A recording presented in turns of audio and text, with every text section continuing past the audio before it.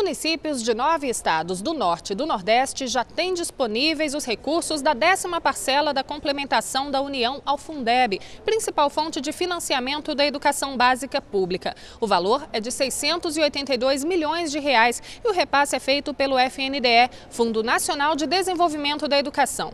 Esses recursos contemplam aqueles municípios que não atingem com a própria arrecadação o valor mínimo por aluno matriculado, que é de R$ 2.221,70 73 centavos. De Brasília, Ana Gabriela Salles.